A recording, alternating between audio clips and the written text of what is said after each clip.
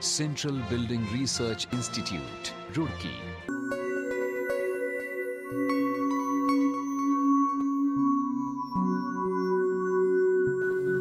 Rapid urbanization is a global phenomenon.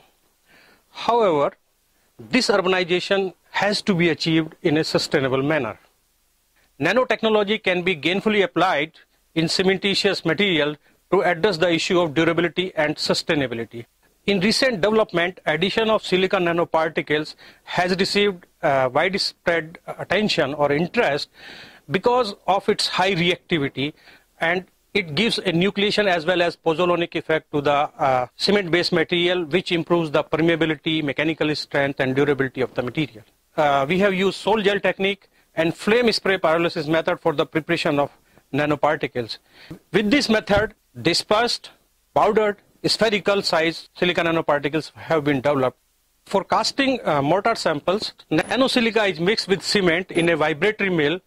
Then this mixture of nanosilica and cement is mixed with sand in a stainless steel cup of mortar mixer and mixed for some time till a uniform mix is obtained. Now water which contains superplasticizer is mixed uh, to form the cement mortar. Mineralogy and morphology are the two most important properties of any building material. Microstructure development at early stage directly affects the properties of cement-based material.